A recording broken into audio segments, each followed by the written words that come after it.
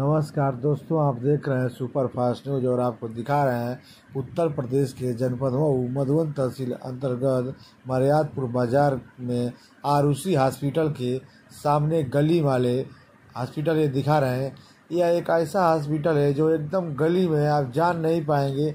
ये हॉस्पिटल है और यहाँ पर जो सीखे हुए डॉक्टरों द्वारा जो है जच्चा बच्चा केंद्र यहाँ चलाया जाता है और यहाँ पर डिलीवरी हो, होती है। आप देख रहे हैं तस्वीरों के माध्यम से सभी लोग डिलीवरी कराने वाले के घर के हैं जिसका डिलीवरी हुआ है उसके घर के हैं।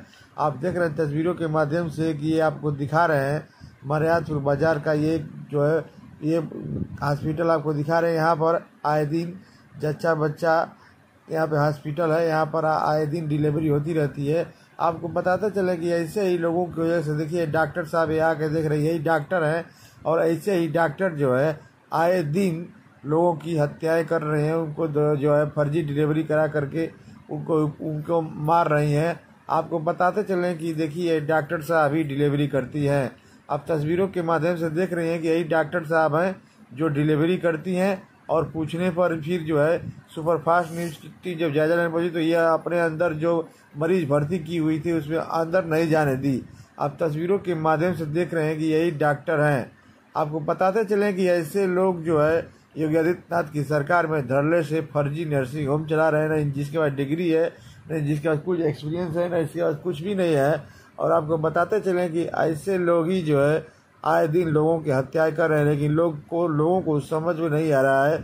आपको बताते चलें कि उत्तर प्रदेश में धड़ल्ले से बहुत ज़्यादा संख्या में सीखे हुए डॉक्टरों से डिलीवरी कराई जा रही है और आए दिन किसी का जो बच्चेदानी निकाल दिया जा रहा है, किसी की हत्या हो जा रही है। आपको पता था चला कि मधुबन तहसील के अंतर्गत बहुत ऐसे हॉस्पिटल हैं जहाँ पर डिलीवरी होते हुए भी कई महिलाओं की मौत हो गई।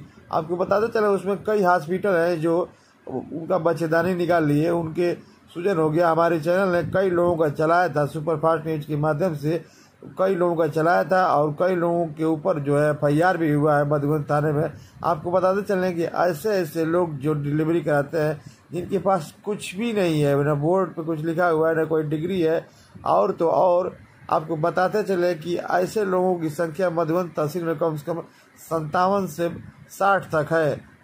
आपको बताते चले कि सूत्रों के मुताबिक ये सभी लोग जो है फर्जी तरीके से डिलीवरी चाहते देखिए, ये कैसे शिकायत कर रहा है इनकी कि यहाँ पर डिलीवरी होती है ना, इनके पास कागज़ है ना, कोई वो है। और आपको बताते चले ये दोनों लोगों के घर की जो है डिलीवरी हो रही थी। यहाँ महिलाओं से भी पूछा गया तो बोली हम भी पेशेंट है, यहाँ पे डिलीवरी कराने के लिए हुआ है डिलीवरी हुई है।